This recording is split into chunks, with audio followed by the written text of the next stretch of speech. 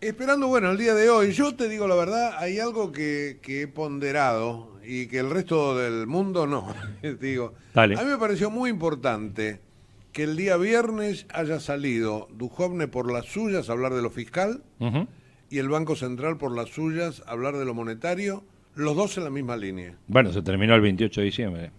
Exactamente. Claro. Me pareció muy importante. Es, sin duda.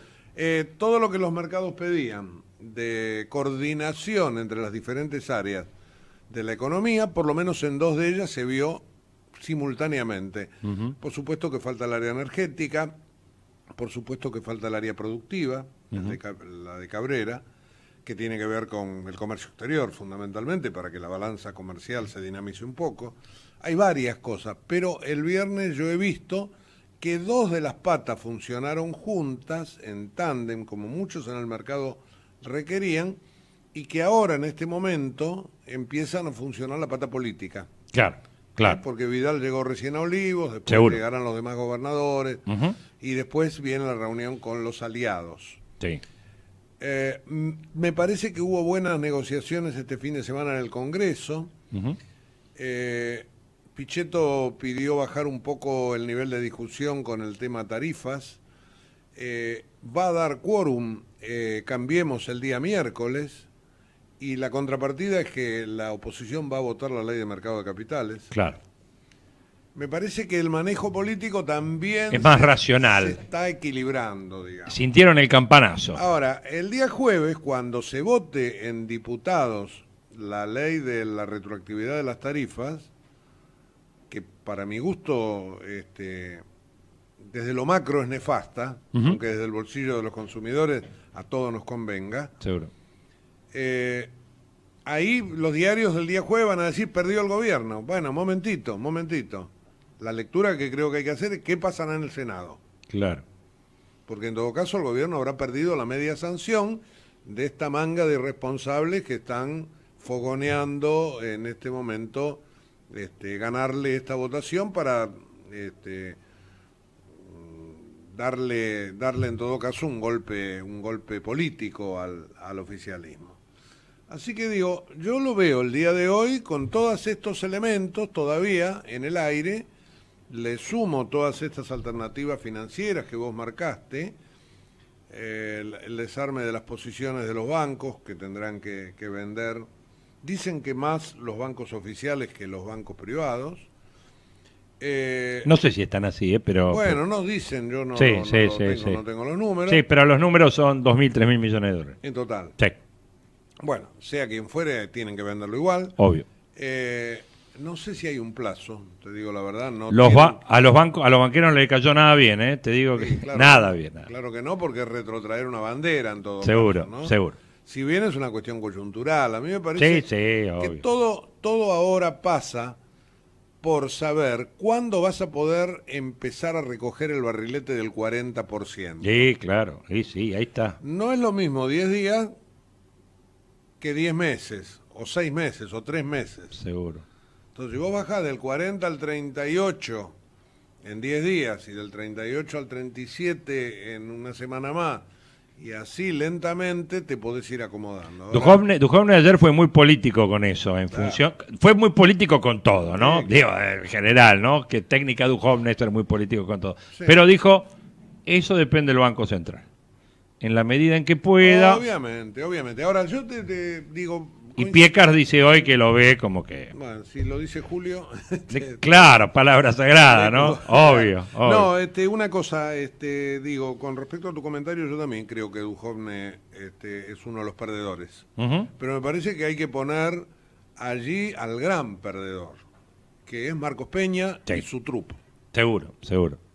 Seguro, claro, ¿no? Sí, Es desde ya. Fundamentalmente. Desde ya, desde ya. Yo creo que ahí, a mí me encantó, recién hablando con Luisa Martín, Luis me dijo que, bueno, le daba mucha importancia a la reunión de ahora de la mañana, porque se junta con los dos más fuertes de Cambiemos, que sin duda son los que tienen los votos, que son Vidal y Larreta, Macri.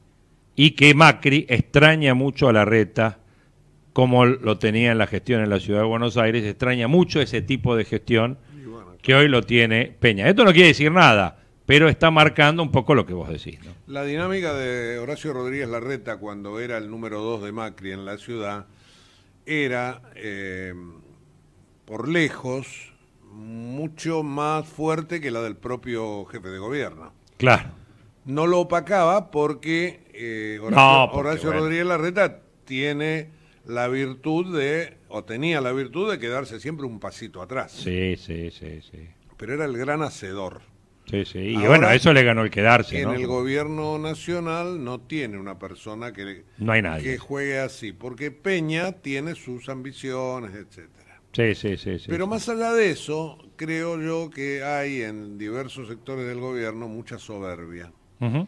Y, Coincido, y- sí. y el propio Macri se las ha bajado de un ondazo, Porque en este momento se dio cuenta el presidente que se le venía la noche. Y entonces, ¿qué hizo? Volver a, la, a los remedios clásicos. ¿Le alcanzará? ¿No le alcanzará? No se sabe. Esto, esto es en todo caso política, ¿no? Sí, es como que Macri siempre cuando va llegando un poco a la cornisa, no digo a la al abismo, digamos, Sí, sí. es como que pega el volantazo, Y bueno, es un poco el olfato que tienen los políticos. seguro. Así que está haciendo un curso acelerado, me parece, Macri.